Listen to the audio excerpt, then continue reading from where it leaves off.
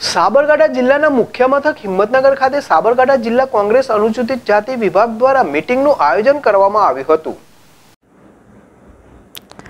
ગુજરાત રાજ્યમાં ચૂંટણી થોડા દિવસોમાં જાહેર થનારી છે ત્યારે વિવિધ પક્ષો દ્વારા ચૂંટણીની તૈયારી દર્શાવી છે. હિંમતનગરના નવા સર્કિટ હાઉસ ખાતે જિલ્લા કોંગ્રેસ અનુસૂચિત જાતિ વિભાગની મિટિંગનું આયોજન કરવામાં આવ્યું હતું, જેમાં ઉત્તર ઝોન અધિકારી સત્યાગ્રહ અંતર્ગત સાબરકાંઠા, મહેસાણા, પાટણ, બનાસકાંઠા અને અરવલ્લીના આગેવાનોની નવા સર્કિટ હાઉસ ખાતે બેઠક યોજાઈ હતી, જેમાં રાષ્ટ્રીય અધ્યક્ષ પ્રદેશ અધ્યક્ષ, મહામંત્રી અને ચેરમેન મિટિંગમાં ઉપસ્થિત રહ્યા હતા.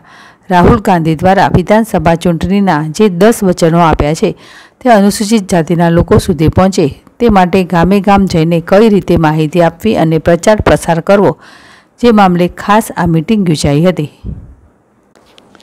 જીલ રાવલ જેડેશ ટીવી સાબરકાંઠા. મીટિંગનું શું આયોજન?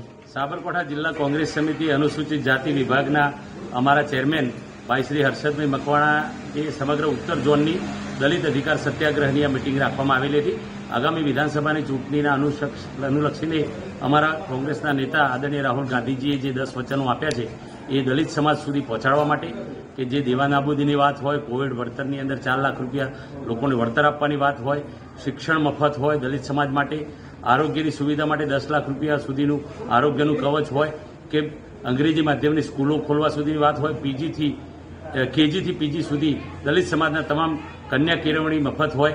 આ બધા જે વાયદાઓ જે કરવામાં આવ્યા છે કોંગ્રેસ પાર્ટી તરફથી, એમાં ઉત્તર ઝોનના સાબરકાંઠા, બનાસકાંઠા, મહેસાણા, પાટણ, અરવલ્લી અને ગાંધીનગર જિલ્લાના વરિષ્ઠ આગેવાનોની આજે બેઠક ડોક્ટર દિનેશભાઈ પરમાર, રવિન્દ્ર દલવી અને આપણા અમારા હિતેન્દ્ર પીઠડિયાજીની આગેવાનીમાં મિટિંગ બોલાવવામાં આવી હતી. આ મિટિંગનું આયોજન સાબરકાંઠા જિલ્લા કોંગ્રેસ અનુસૂચિત જાતિ વિભાગના ચેરમેન ભાઈ શ્રી હર્ષદભાઈ મકવાણા દ્વારા કરવામાં આવ્યું હતું.